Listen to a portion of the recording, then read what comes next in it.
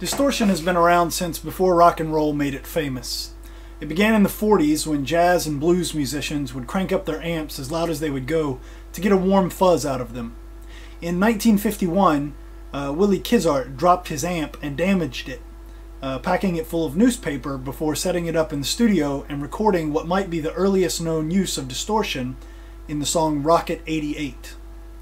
Jump forward a decade, and Dave Davies of the Kinks got high and cut up his speaker cone with razor blades and poked holes into it, creating that unique sound on You Really Got Me Now. So Wikipedia says that this is all true, then what the hell are we doing here? Well, many, if not most, if not all, of those musicians who doctored their amplifiers and speaker cones for distortion are dead. And the ones that aren't certainly aren't making YouTube videos detailing what they did and the sounds they achieved. Many online forums argue back and forth over these anecdotes regarding distortion, with one camp firmly on the believer's side and the other saying that you're destroying your amp, or at least the speaker cone, for no good reason.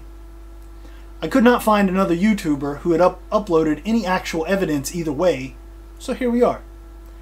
I bought a very cheap 15 watt amp. Uh, it's one of the ones that comes in a beginner's guitar set and I put it through its paces to see if I could make an argument one way or the other based on actual evidence.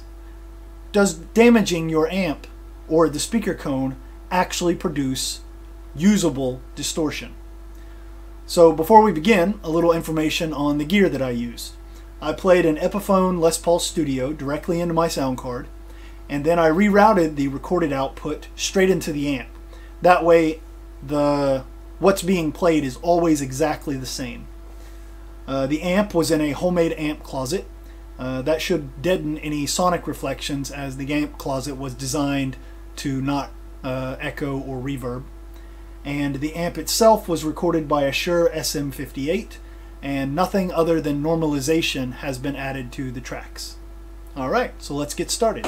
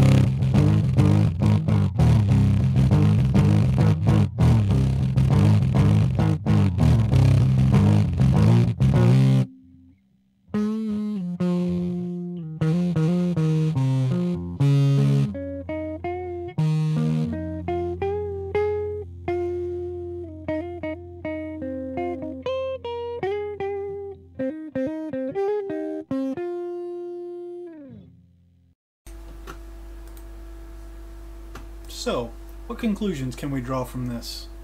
Well, uh, originally I poked pinholes into the speaker cone, but whenever I recorded it and listened listened back, comparing it to the original, it sounded as if I had done nothing, and that makes sense.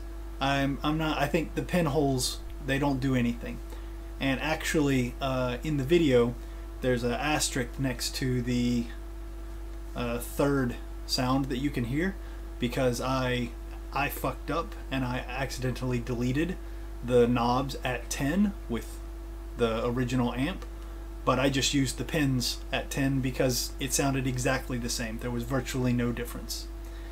Um, of course if you try pinholes in a larger amp or with more power who knows what can happen. Uh, whenever I sliced up the cone that gave us a good loud distortion but it was very inconsistent especially on the solo. Uh, the chords seemed to distort very well.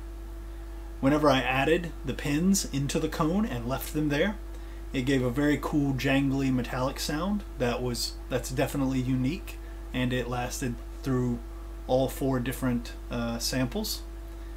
Uh, with the newspaper it helped even out the fuzz, whatever fuzz was coming from the amp, but it also greatly diminished it. I had to normalize the uh, sliced uh, sliced cone packed with newspapers. Uh, it was very, very, very quiet.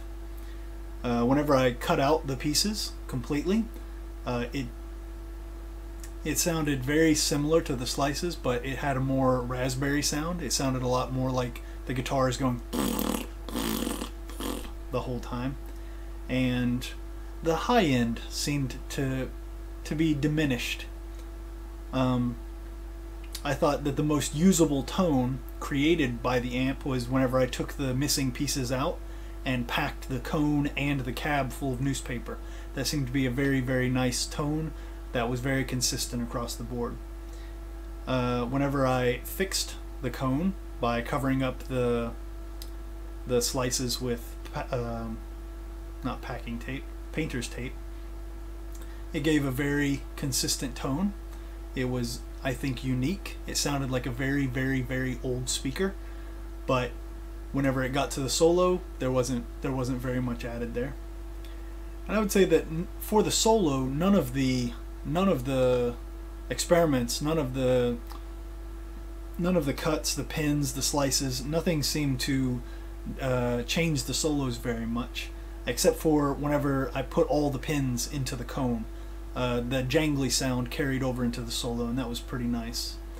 Uh, maybe if you had more pins and a condenser mic, you even might you might get more jangly sound out of the solo. But yeah, so there you go. That's some definite evidence that cutting and damaging your speaker cone definitely creates distortion.